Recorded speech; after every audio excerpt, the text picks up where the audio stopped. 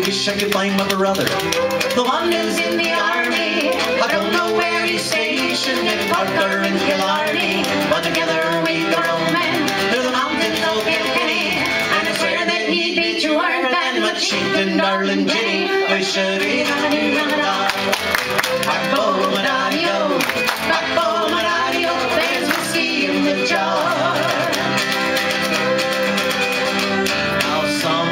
take delight in the hurling and the bowling, and others take delight in the carriages a rolling. But me, I take delight in the juice of the barley. and Norton